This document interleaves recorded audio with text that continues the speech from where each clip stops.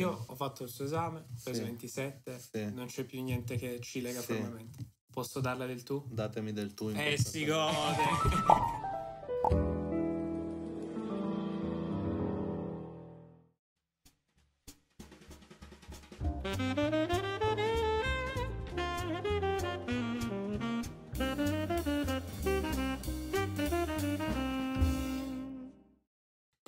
allora come prima cosa Mhm. volevo chiedere chi è Bruno Surace? Sono io.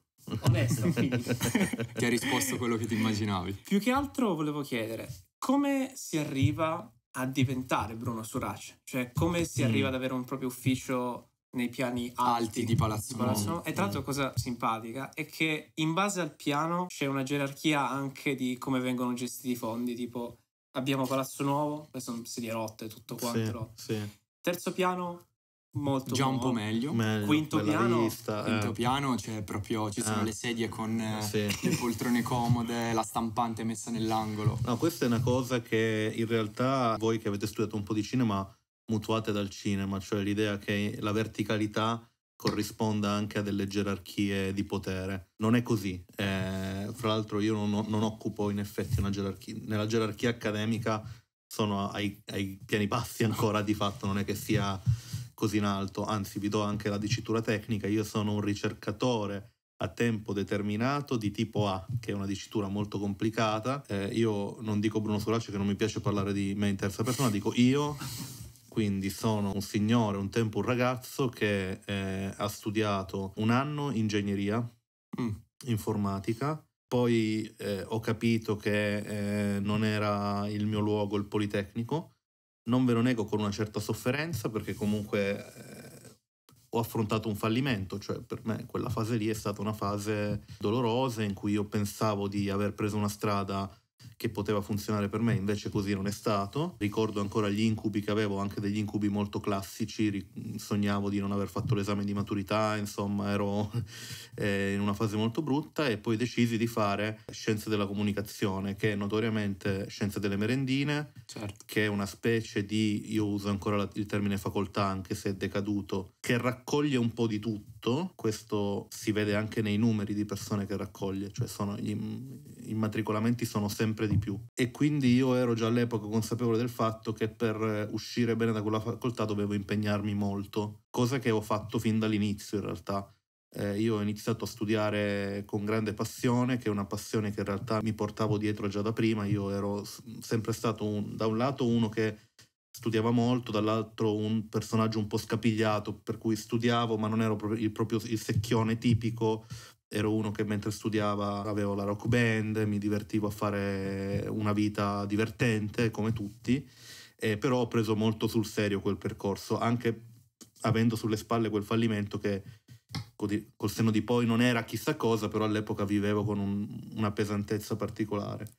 Un po' la capisco perché anch'io ho fatto un anno di Politecnico Ok. ed è stato tremendo. Sì. Perché tu arrivi a anche dare una certa aspettativa, penso, ai genitori. Certo, E il fatto di rimanere un po' con un paracadute sulle spalle, perché Mhm. parliamoci chiaro, usciti dal Politecnico, mal che vada, comunque un posto riesci a cavartelo per sì, il, Certo. il ruolo da ingegnere che hai. certo. In quel periodo, come hai realizzato che non era il tuo percorso? Quel periodo mh, ero infelice. Poi c'è un aneddoto che io racconto quando mi chiedono questa cosa che secondo me è molto indicativo. All'epoca dentro il Politecnico c'era una cosa che io trovavo sensazionale, cioè c'era un, una macchina che consentiva di noleggiare i film. Mm. Eh, come un vecchio videonoleggio, no? un cabinato, e tu con la tessera universitaria li potevi noleggiare. Questa cosa mi esaltava perché io in realtà ero già un appassionato di cinema da ben prima, io ho sviluppato questa passione in, in- età molto in età infantile sostanzialmente e quindi io tutti i giorni andavo a lezione, noleggiavo un film, lo guardavo la sera, poi lo riportavo in questa macchinetta eh, fino al giorno dopo. Non c'era Netflix, stiamo parlando di anni precedenti, cioè c'erano i film, li scaricavo come tutti, però mm, li, li guardavo anche in DVD. E- Ebbene, un giorno vado dai miei compagni di classe dell'epoca e gli dico: Avete visto? C'è questa macchinetta, una figata. E la loro risposta fu quasi stizzita, cioè mi, mi fecero capire che e- era un po' una, una scemenza andare a- dietro quella macchinetta, no? Allora lì immediatamente capì che non era esattamente il mio ambiente quello.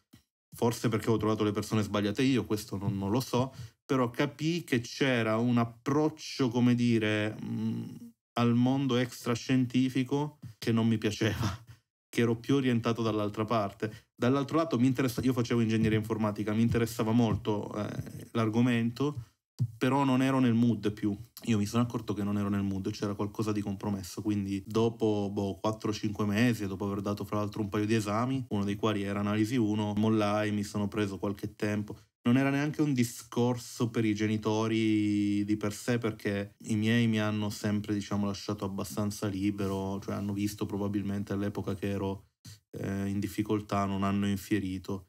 Però era un discorso con me stesso, cioè in quel momento ti senti perso e tenete conto che questa cosa avveniva intorno al 2009. Non era il mondo di oggi, cioè eh, non, non, c'era ancora quell'idea di performatività che domina nella società contemporanea. Io già sentivo quel peso del fallimento. Mi chiedo effettivamente un ragazzo di oggi eh, quante volte in più lo possa sentire in una società appunto che è molto più giudicante, e fa molto di più i conti in tasca alle altre persone, quindi eh, se tu ti perdi per strada veramente sembra che sei finito, quindi immagino la sofferenza che ci sia oggi, anche per questo il mio è un approccio come dire, beh qua c'è un salto temporale, a un certo punto poi ho studiato molto e a un certo punto sono passato dall'altro lato della cattedra. Io eh, appunto poi ho preso la laurea triennale in comunicazione, poi ho preso la laurea magistrale in comunicazione e cultura dei media che è diciamo il percorso naturale di laurea magistrale dopo la triennale e io lì avevo già sviluppato un desiderio per fare un dottorato di ricerca poi. Mi piacevano tutte le materie, mi piaceva molto il cinema, come sempre, avevo sviluppato un amore particolare per la semiotica, avevo voglia di mettere assieme questi due mondi e io il giorno dopo della mia laurea magistrale eh,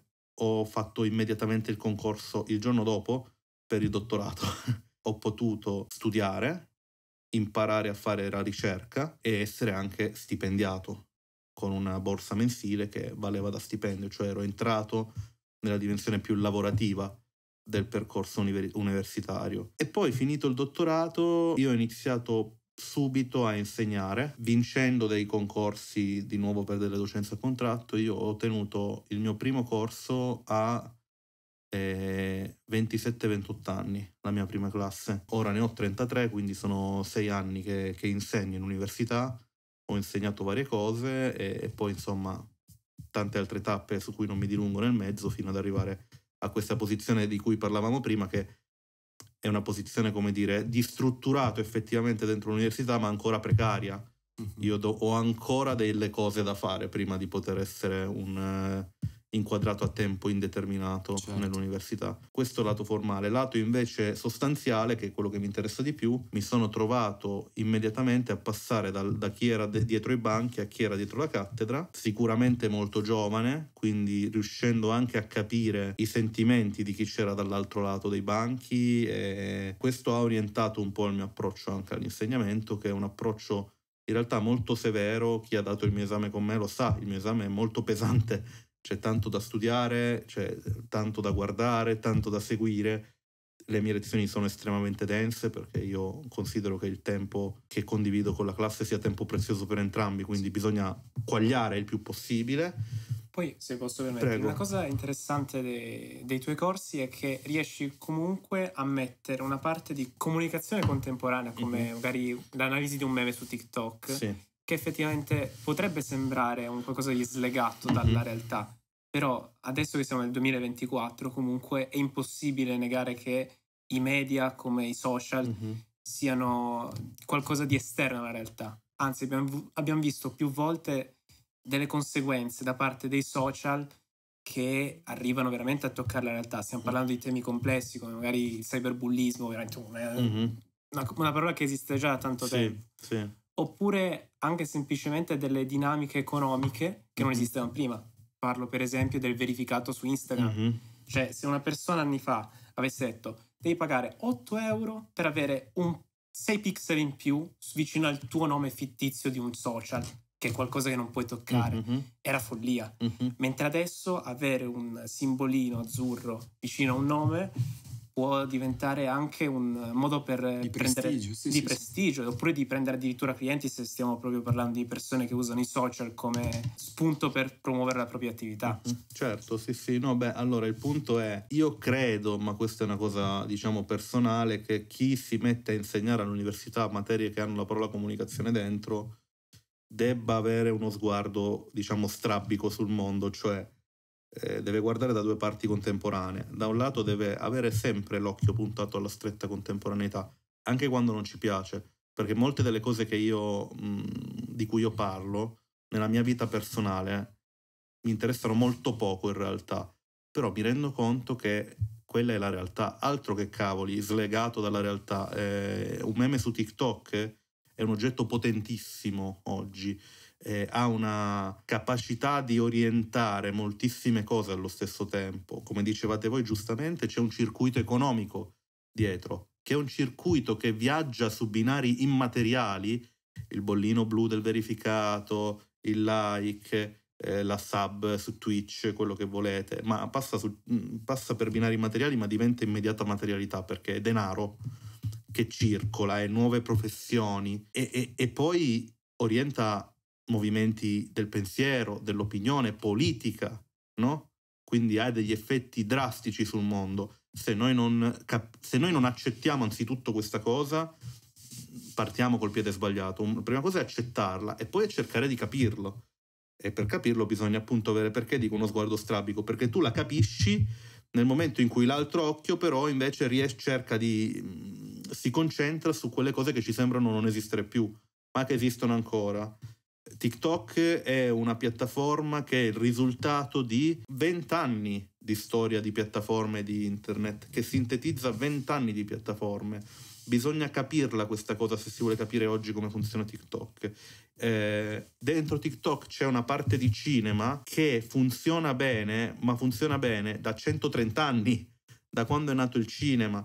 Cioè, qui mi, e vi ringrazio per la domanda perché mi fa smontare l'idea di scienza della comunicazione come scienza delle merendine in realtà. Allora, è vero che il corso di laurea è un corso di laurea che per sua vocazione raccoglie gli indecisi, diciamo, in Mhm. parte. Però c'è un motivo se c'è questa attenzione in realtà profonda e questo successo in termini numerici del corso.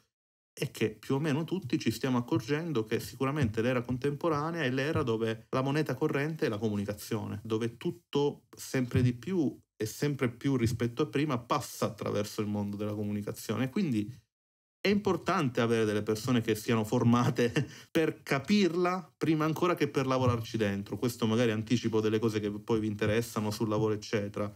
E, e ho paura che potrei darvi risposte poco soddisfacenti per voi, ma vedremo. Però sì, ecco, bisogna fare att- e, e quindi le mie lezioni sono sempre orientate a da un lato bisogna conoscerle alcune cose del passato, la storia ha una sua rilevanza. Io parlo sempre della storia in termini volumetrici, cioè ha una profondità che noi possiamo attraversare e far finta che la storia non serva è un errore di metodo. Eh, la storia è, è fondamentale e il nostro approccio alla storia è importantissimo, però io ho davanti delle classi di persone giovani che abitano in questo mondo e che hanno bisogno di sapere, ok, perché mi sta insegnando quello che... perché è importante parlare di Kubrick oggi? Perché è molto bello? Sì, e già questo non è poco, perché fate attenzione, una parte della nostra esistenza dovrebbe essere anche votata a capire che cosa è bello e che cosa fa schifo Mhm. e imparare ad apprezzare il bello. Quindi i gusti si discutono, che è una cosa su cui Ma certo che i gusti, io... gustibus disputandum est, altro che cavoli, no no. I gusti si discutono nel rispetto dell'altro, che è il punto di partenza, però sì, cioè noi, anzi il nostro lavoro è discutere i gusti, perché ci interessa capire come si formano i gusti, cioè perché nel 2024 Sanremo è stato così guardato da una platea di eh, pubblico anche molto giovane, che è una cosa che non succedeva dieci anni fa. Com'è possibile che c'è stata una risalita di, di apprezzamento nei confronti di Sanremo? Questa è una questione di gusto, ma in realtà ci interessa perché ci fa capire dinamiche culturali anche molto profonde, no? Quindi i gusti si discutono, poi non si giudicano, nel senso che per fare un lavoro di Certo. giudizio sui gusti lo fai con i tuoi amici e questo è un altro discorso e va benissimo, però il nostro lavoro è discutere i gusti, e come no? Io posso chiederti Vai. due cose. Mi, mi è venuto Dimmi, in dimmi. mente Un giorno ti ho seguito in un podcast e tu hai detto, io mi definisco un pessimista. Come ti definisci? Perché pessimista poi può avere più sfaccettature. Ma adesso non mi ricordo quando l'ho detto, tu ti ricordi anche proprio? Sì, era, era, Uovo Sodo mm. ed era l'episodio sul, sulle catastrofi. Mm. Ti veniva chiesto, la catastrofe è vista solamente in maniera negativa oppure può mm. essere mm. anche una cosa positiva? E tu facevi un esempio quasi di sadomaso. Mm-hmm. E poi dicevi, io però ho sempre una visione pessimistica della vita e delle cose. Allora, il pessimismo, l'ottimismo sono delle posture che noi assumiamo eh, che mh, cambiano in base anche al tempo, al periodo storico. Se dovessi valutare lo stato attuale del mondo che abitiamo, confermo una visione pessimista, ma non di pessimismo rispetto al futuro, eh, che è una cosa che io non posso prevedere, ma sicuramente di pessimismo rispetto al presente. Io non sono per niente contento ed è un paradosso perché noi viviamo in realtà nel, nel tempo questo è, è, scontato, più evoluto da un punto di vista tecnologico, più evoluto da un punto di vista mh, mm, anche culturale, volendo, eh, però eh, molte delle cose che io vedo in questo mondo non, non mi piacciono per niente. Qua il discorso diventerebbe politico, ma possiamo anche intenderci, cioè un mondo che da, da un lato, come dire, ha sviluppato mezzi potentissimi e raffinatissimi. Si, in questi ultimi tempi si parla molto dell'Apple Vision Pro, no? mm-hmm. e che è una cosa incredibile, no? con tutti i suoi difetti, con tutte le sue cose, però è un oggetto straordinario eh, che contiene dentro di sé una quantità di tecnologia eh, gigantesca. Molteplici quantità di tecnologie diverse convivono in questo oggetto. Tu dici che bello un mondo del genere. Dall'altro lato eh, ci sono molte guerre in corso molto sanguinarie, guerre peraltro combattute in maniera molto novecentesca, se non ottocentesca, cioè ancora con persone che si ammazzano. Certo, sono state integrate tecnologie molto moderne, per cui oggi abbiamo anche i droni che eh, intervengono nelle guerre, no? però ci sono delle guerre terribili in corso eh, che sembrano non, destinate, come dire, a, a, un'unica via possibile che eh, la distruzione totale dell'altro, l'assimilazione totale dell'altro, eccetera. La situazione, diciamo, climatica mi, mi spaventa molto, cioè ci sono delle cose che mi spaventano molto per cui io applico un pessimismo del presente, non è che lo applico, lo sento, cioè c'è un ottimismo anche in me, io sono molto fiducioso. Mm, allora, intanto entrando nel mio campo che sono i mezzi di comunicazione, anche i mezzi di comunicazione per come funzionano oggi non mi fanno impazzire eh, perché di nuovo sono potentissimi ma spesso sono poi ridotti a delle formule di conflitto fra persone che mm, funzionano molto bene, danno molto denaro ad alcuni pochi ma per il resto non, non sono un granché. Però io sono molto fiducioso nelle nuove generazioni, vedo i passi avanti che hanno fatto le nuove generazioni rispetto dei temi, la sensibilità che hanno sviluppato rispetto a cose impensabili, cioè quindi mi piace sperare eh, che eh, in futuro ci possano essere delle speranze appaltate a queste nuove generazioni. E questo penso che sia il mio lavoro. Il mio lavoro penso sia essere una specie di ponte eh, che dà degli strumenti a chi verrà dopo di me per interpretare il mondo e, e per provare a mettere delle toppe nei, nei buchi del mondo che attualmente io, io, vedo. Questo sarebbe il mio sogno, nel mio piccolissimo, nel mio margine, no? Se tutti provassimo a fare questo, forse avremmo un po' più di speranza, però mi avete portato in un territorio certo. molto brutto. No, diciamo. ma io ti, ho, io ti, ho, portato in un territorio eh. brutto perché volevo farti una domanda specifica. Sì. Io sono un grandissimo appassionato di, del cinema di Cronenberg. Quello che mi spaventa tanto è che un uomo, magari un visionario, mm-hmm. negli anni 80-70 abbia pensato delle cose che per assurdo seppur abbiano shiftato mm-hmm. dei media, quindi non è più la televisione ma mm-hmm. è il web, siano più attuali ora che quando ha scritto, prodotto e diretto il film. Mm-hmm. Un film come Videodrome, che è uno dei miei film preferiti, forse anche un po' il suo classicone, no? Riguardandolo adesso ha sia tante citazioni, sia tanti spunti di riflessione che ti fanno dire cavolo, sembra scritto negli anni 90, inizio 2000 e invece si parla di molto prima. Mm-hmm. Eh, beh, eh, stiamo parlando non a caso di un genio, di un cineasta che intanto va detto, Cronenberg canadese, conosceva bene le teorie di McLuhan, conosceva il lavoro sui media teorico che si era fatto eh, in anni precedenti in realtà a Videodrome, quindi lui non partiva come dire vergine rispetto al discorso dei media, lui partiva con un certo tipo di background culturale molto preciso. Quindi noi dobbiamo leggere Cronenberg non solo come un cineasta, ma come un saggista, in mhm. sostanza, mm-hmm. cioè uno che ha usato il cinema per scrivere dei saggi anche sui mezzi di comunicazione. E Videodrome è forse il caso più plateale, però in realtà lui è andato avanti anche le ultimissime cose, fino a Crimes of the Future, eh, l'ultimissimo, sono orientate eh, a quel discorso. E poi ha avuto sicuramente una capacità eh, di eh, leggere in maniera critica eh, i, i, media. Attenzione però a non, come dire, non bisogna mai, secondo me,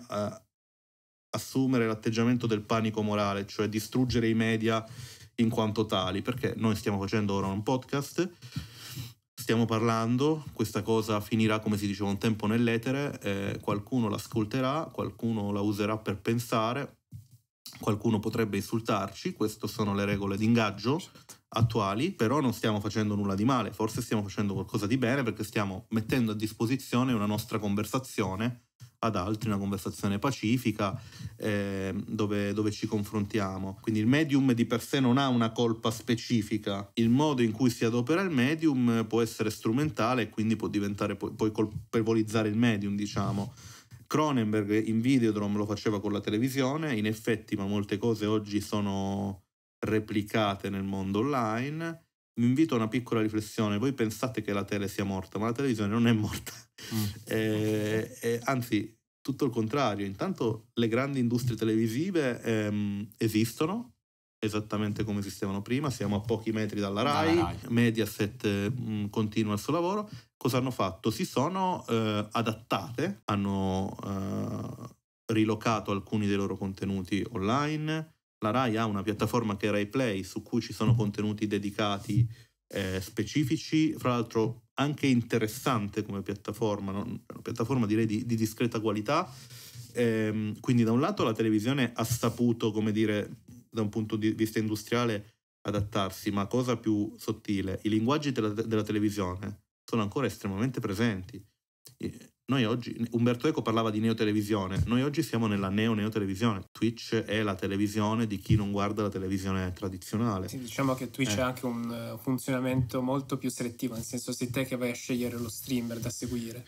Sei che te... però effettivamente assomiglia al linguaggio del scelgo il mio canale preferito e il mio... Allora, attenzione perché non è neanche così non è vero. Non è così, è vero, anche secondo me. Okay. Non è neanche così vero, cioè sì, tu ti vai a cercare il tuo streamer preferito eh, se ti interessa quella cosa però le dinamiche dello zapping sono replicate intanto dall'interfaccia. Quando okay. tu entri su Twitch ti, ti, si apre una varietà di contenuti e tu vai un po' anche a casaccio se non sei mirato a cercare una cosa.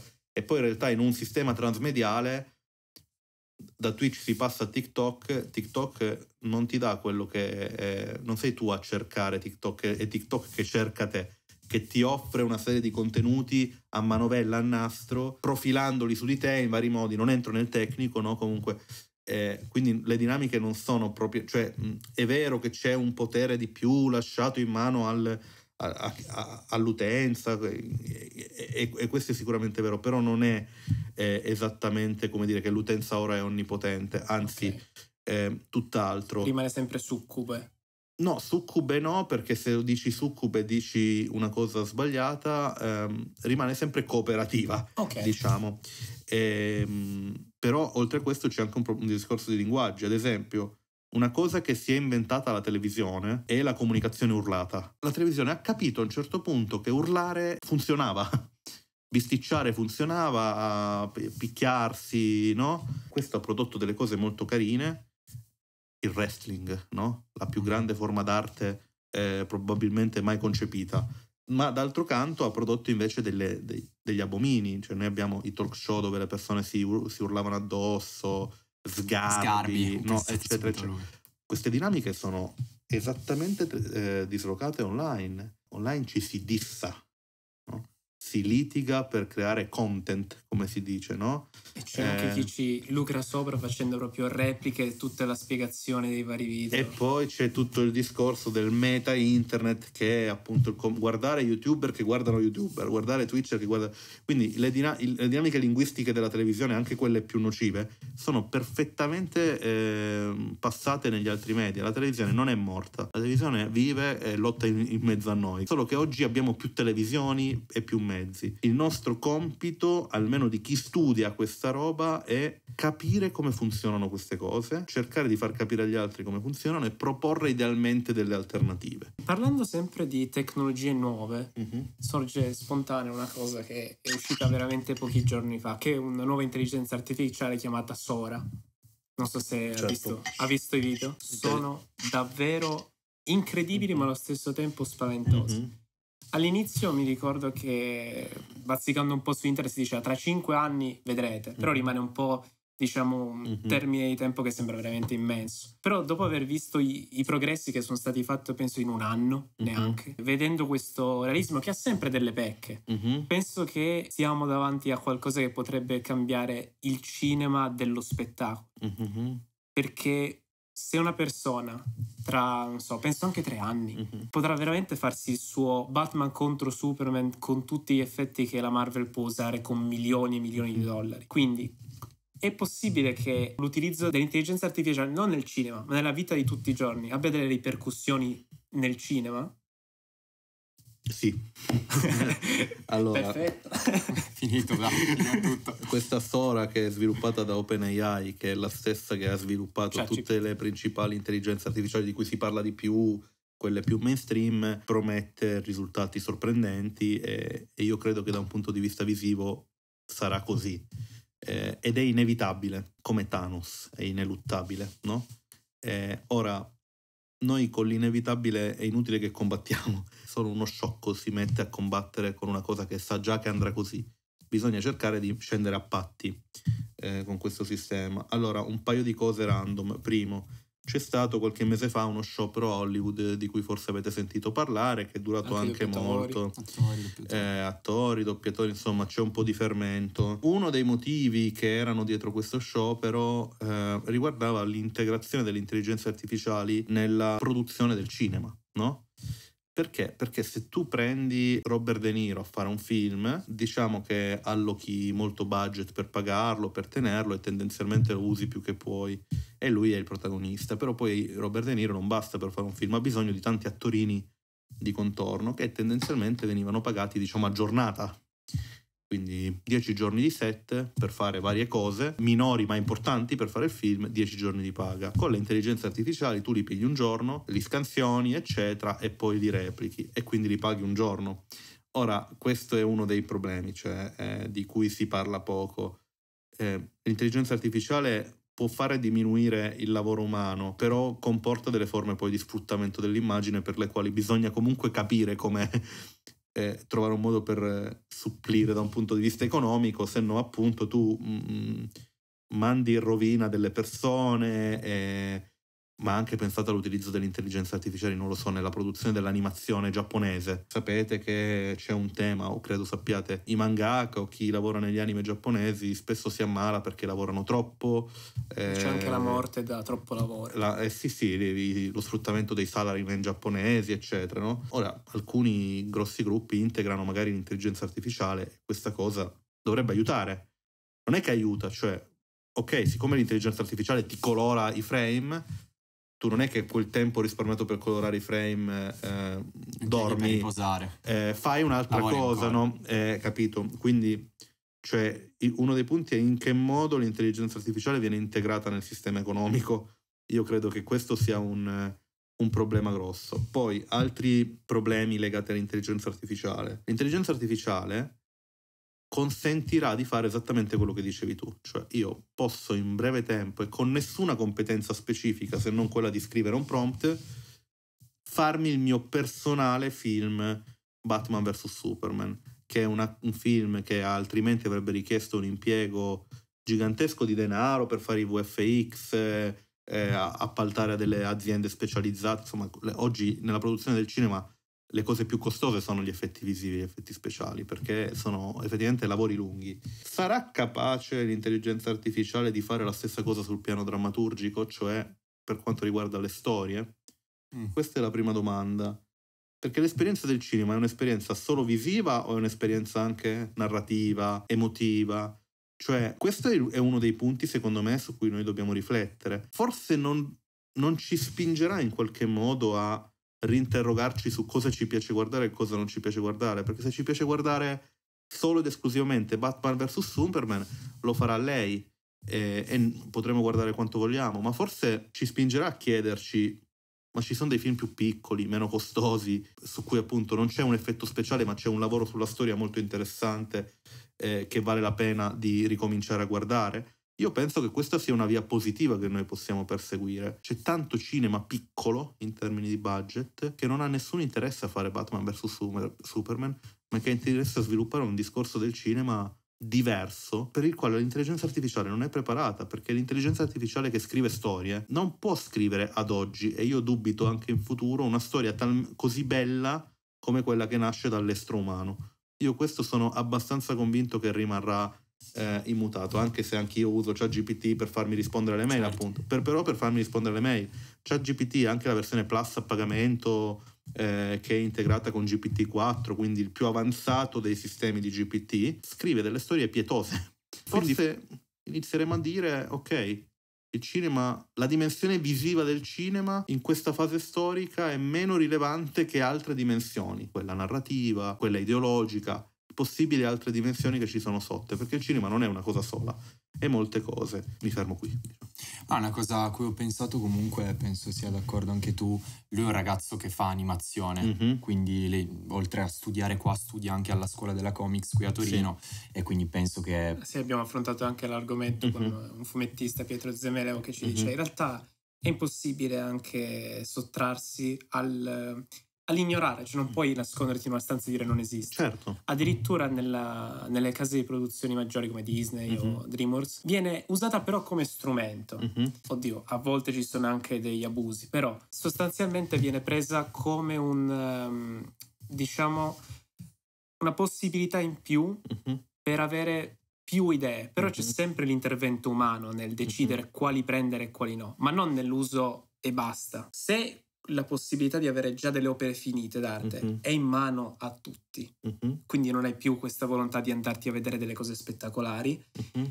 Ci sarà forse una nuova tipologia di pubblico che andrà a chiedere nuove cose al cinema, cioè è possibile che il cinema al cinema venga chiesto magari più qualità narrativa rispetto... È quello che dicevo prima, sì sì, è quello che dicevo prima ed è una possibilità, secondo me è la migliore delle possibilità. Forse anche la meno probabile guardando più che altro il cinema di adesso. Mm. Ma questo dipende, eh, nel senso che ehm, ad esempio il cinema di adesso eh, è un cinema schizofrenico in termini di pubblici, cioè pubblico premia delle cose che sono spazzatura, ma anche delle cose che non sono spazzatura. I film di cui si è più discusso ultimamente nell'ambito mainstream blockbuster sono Oppenheimer, Barbie, Barbie. Poor Things, questa è una triade di film su cui ogn- ognuno può avere una, un proprio giudizio personale, ma sicuramente non stiamo parlando di film, cioè in- intanto se sono film così dibattuti un motivo c'è.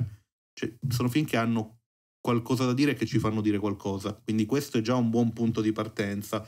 Poi litighiamo, Barbie è brutto, Barbie è bello, Poor Things non è il capolavoro che uno pensa, eccetera. Però intanto il pubblico ha premiato questo, anche perché c'è stato un grosso marketing, ma questo è di nuovo le regole di ingaggio, ci può piacere o no, ma è così. Esattamente come, come, si diceva prima, cioè non possiamo nasconderci dietro il velo e dire no, questa roba non esiste. Questa roba esiste è nostra responsabilità, forse addirittura morale, provare a farla funzionare nel migliore dei modi. Fammi dire un'ultima cosa, la cosa certo. interessante era del discorso che facevi tu, usare come strumento le nuove tecnologie. Questo è verissimo, tanto che da quando sono saltati fuori questi, questi strumenti si è già iniziato a riflettere su, ma allora l'artista che, che, ci sta a fare? Forse è possibile che una parte dell'arte non sarà più nella produzione, ma nella sovraintendenza eh, o nella, mh, mm, nell'interpretazione del prodotto finito. Cioè l'artista da produttore diventa interprete eh, di quello che è uscito, diventa colui che decide se quello che è stato sputato fuori dall'intelligenza artificiale è meritevole di essere pubblicato o meno va modificato o meno, o, o anche nuove forme d'arte, il prompting, cioè la capacità di scrivere il giusto tipo di domanda al software che poi ti crea l'immagine.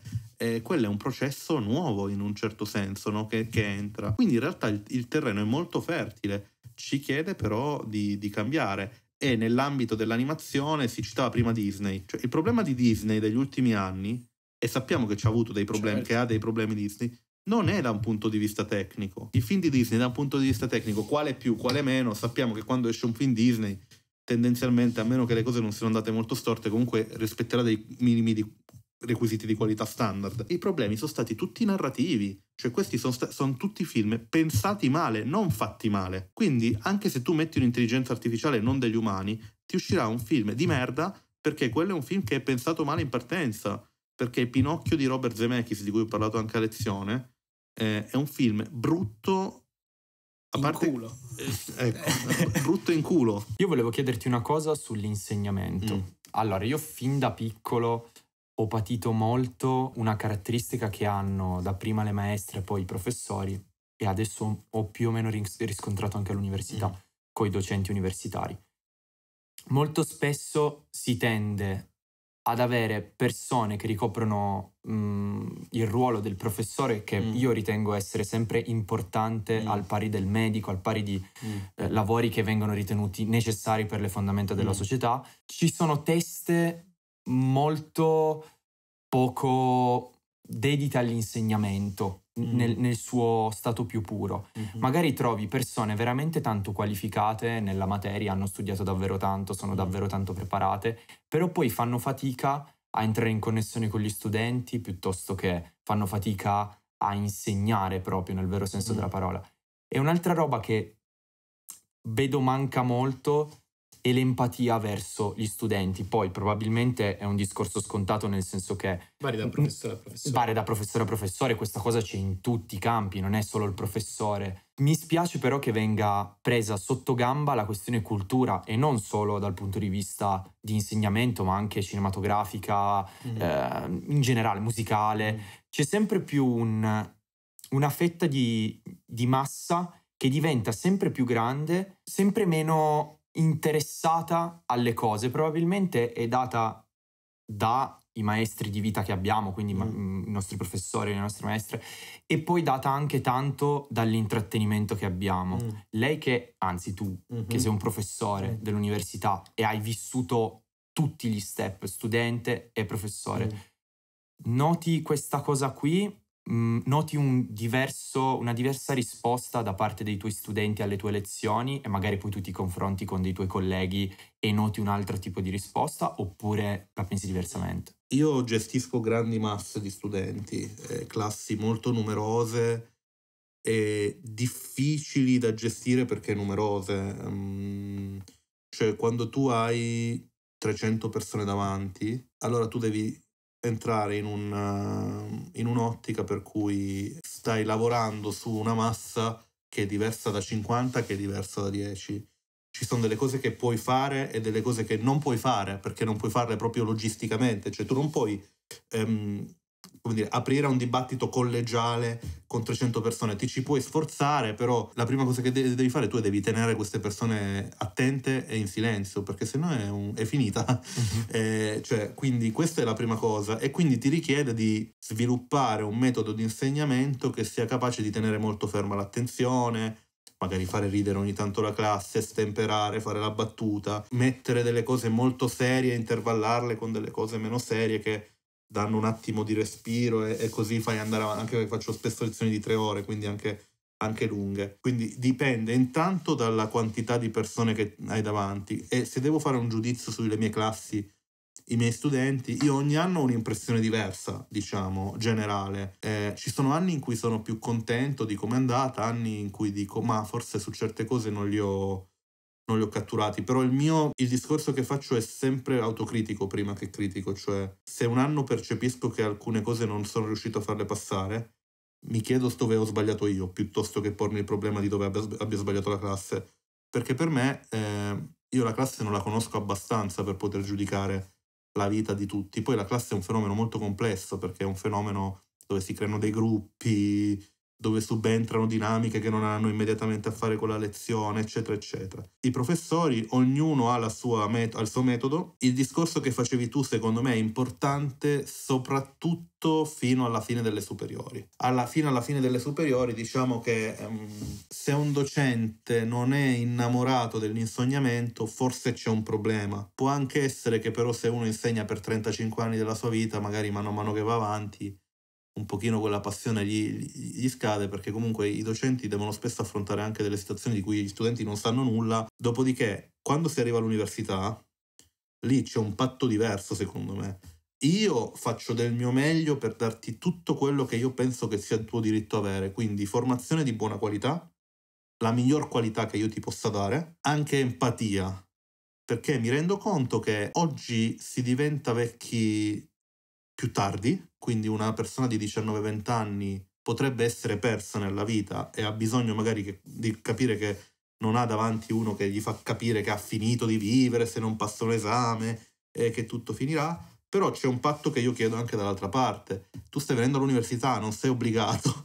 Se vieni all'università lo fai eh, perché, vuoi venire, perché vuoi venire ad ascoltarmi. E se mi vuoi venire ad ascoltare, puoi anche voler venire ad ascoltare uno che magari è meno empatico di me. Perché sei all'università, cioè, io non penso che il mio metodo di insegnamento sia quello giusto. Io penso che all'università eh, le basi siano, io ti devo dare la miglior formazione possibile.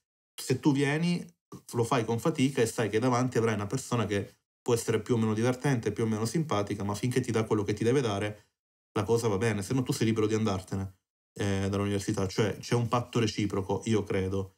Intanto io non insegno anatomia patologica, io insegno cinema e comunicazione audiovisiva, quindi insegno una materia molto umanistica, che ha a che fare con l'umanità e, e mi interessa mh, che il modo stesso in cui io le insegno e le interpreto è una parte di quella formazione, cioè io vorrei che le persone che mi ascoltano capissero che il mio approccio al, al al cinema e in generale alla cultura è già un primo, una prima cosa che loro possono imparare, no? Noi ci possiamo appassionare alle materie, ci possiamo le possiamo criticare, le possiamo trattare in maniera allo stesso tempo seria ma giocosa, però magari invece uno che ti insegna anatomia patologica ti deve spiegare solo eh, molto certo. bene dove sono posizionate le arterie, cosa succede se sbatti un ginocchio, eccetera, capito? Quindi dipende anche dalla materia. E, e, se uno dice questa persona, e se quella persona si impegna a insegnartelo, ma magari è un po' antipatica, ho problemi tuoi, cioè tu stai andando lì per imparare anatomia patologica, quella persona ti deve insegnare quello, e poi farai aperitivo con i tuoi amici e ti rilasserai, no? Certo. E... Ehm, Ultima domanda, sì. e poi così puoi andare a lezione. E un consiglio che potresti, un unico consiglio che potresti dare a uno studente di scienze della comunicazione? La nostra cara amica o caro amico che stai studiando scienze della comunicazione o qualcosa di simile, troverai attorno a te molte, molte scuole che ti insegnano a fare cose molto pratiche, fare il SEO dei social media, progettare una campagna marketing, sono tutte cose utilissime. Però la prima cosa che il mondo valuterà di te sarà se tu sei o meno diversa o diverso dagli altri che sono stati incontrati, sono stati visti prima di te. Quindi impegnati per diventare una persona brillante. In un qualsiasi modo tu lo farai, impegnati, perché il nostro non è un, un corso immediatamente professionalizzante e questo per molti è il, suo, è il suo svantaggio, invece per me è il suo vantaggio. Tu uscirai di qui e sarai libera e libero e se sfrutti bene questi anni sarai un passo avanti agli altri perché capirai meglio certe cose, perché interpreterai meglio certe cose e questo ti renderà più veloce degli altri su, su certe cose. Quindi non ti scoraggiare e ricordati, come diceva Lorenzo il Magnifico, che del domani non per certezza per nessuno, vivi sereno. Grazie Bruno, grazie mille. Grazie a voi, grazie. buon lavoro. Vai, partita crazy time. No, no, no.